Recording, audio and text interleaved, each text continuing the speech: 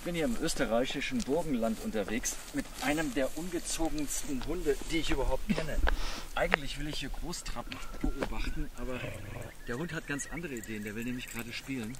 Cleo ist gerade mal zwei Jahre alt und manchmal benimmt sie sich noch wie ein großes Kind. Jetzt bei Fuß. So sehen wir nie eine Trappe.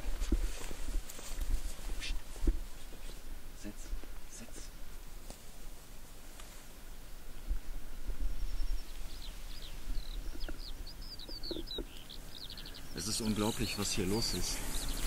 So viele verschiedene Vogelarten. Der große Brachvogel ist hier. Verschiedene Fasanenarten. Rebhühner gibt es hier. Kraniche kommen durch. Die Weißschläuche sind da. Löffler, Seitenreiher, Graureiher. Es ist ein kleines Eldorado hier. Aber das Besondere in dieser Gegend ist hier, dass es hier die Großtrappe gibt. Den schwersten flugfähigen Vogel Europas und Asiens. Und dem bin ich eigentlich auf der Spur.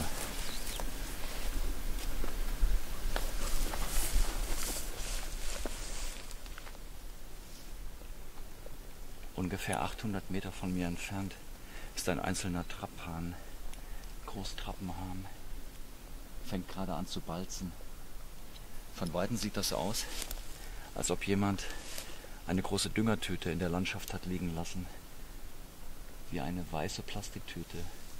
Aber es ist ganz eindeutig ein Trappenhahn.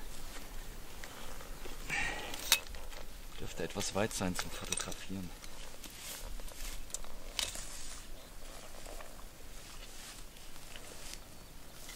Der Großtrappenhahn hat mich natürlich schon lange gesehen und viel näher darf ich nicht dran und will ich auch nicht dran. Insofern ist das hier eine sehr gute Einheit.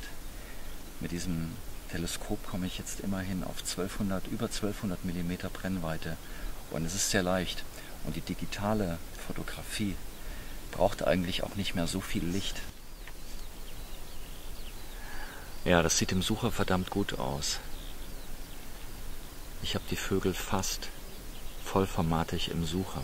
Das sind starke Bilder. Ein Problem bei diesen starken Vergrößerungen sind natürlich immer die Wärmeschlieren, die über den Boden wappern und die Vibration, die man in diesem System hat. Die kann man auch nur bedingt eliminieren. Das Ganze ist halt ein Kompromiss, aber ich finde, es ist ein sehr guter Kompromiss. Man hat ein hochwertiges Telefotoobjektiv, kann damit filmen und noch ja, die Objekte ganz normal mit einem Spektiv oder einem Teleskop beobachten.